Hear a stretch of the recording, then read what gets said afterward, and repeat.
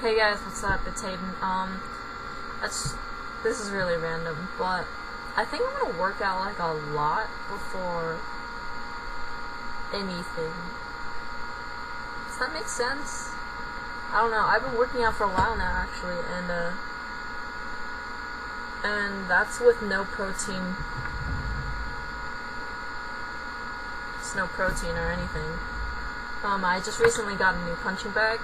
Actually, I didn't have an old punching bag. This is the first punching bag we've gotten, and it is intense. It hurts to punch, it hurts to kick, but it's so worth it. It's so much fun, and it gets rid of stress.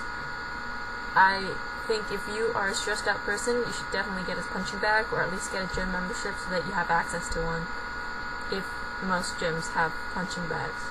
Anywho's, um, yeah, I'm definitely gonna be like total like meathead. I'm gonna be a, like a total like health nut. Well, not a health nut, but I'll definitely be into fitness and shit. Cause I want to have a nice body. So yeah, you guys should definitely look into punching bags. Cause they make you hot like this, like this.